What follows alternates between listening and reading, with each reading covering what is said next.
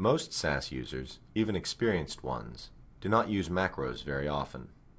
A SAS macro is a block of SAS code that performs a specific function.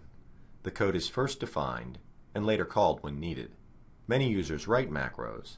The Methodology Center provides macros to allow users to perform specific actions.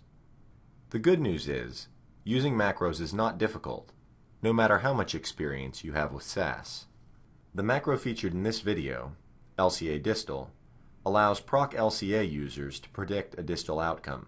However, the steps in this video are generally applicable to any SAS macro.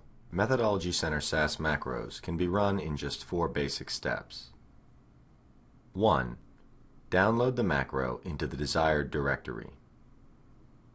2. Direct SAS to the proper dataset. 3. Use a percent %include statement to identify the macro. 4. Enter the syntax and call the macro. Step 1. Download the macro into the desired directory. Go to the free software page at methodology.psu.edu. Then, click on the link for whichever macro you wish to download. You will need the macro file, and we suggest you download the user's guide and any example datasets as well. If you have not already done so, you will be prompted to register with the Methodology Center website. Then, save the downloaded files into the folder where you will direct SAS to look for them later.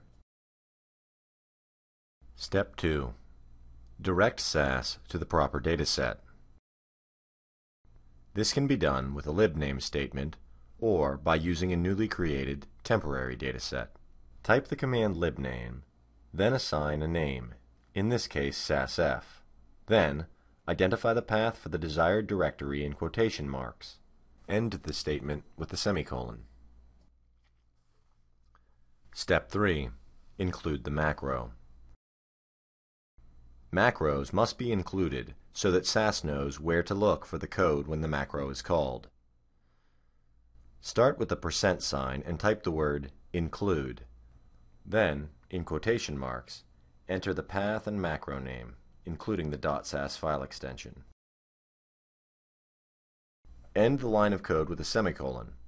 When you run the include statement, the log will reflect the inclusion.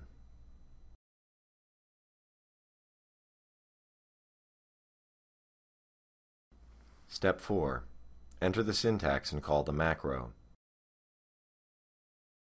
Macro syntax is different than procedure syntax, so this part of the process requires the most attention.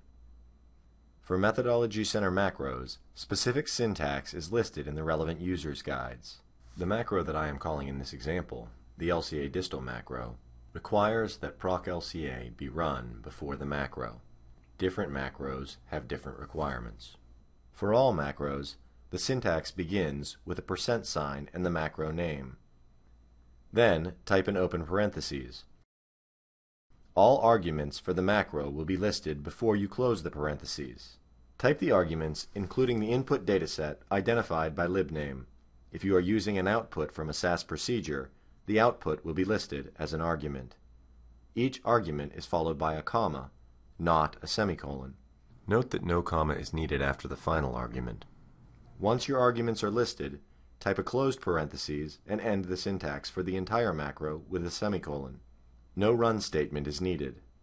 Then, you simply highlight your macro code, click the Run button, and SAS will process your data. Thank you for watching and good luck. If you have any questions about this video or any Methodology Center macros, please email mchelpdesk at psu.edu.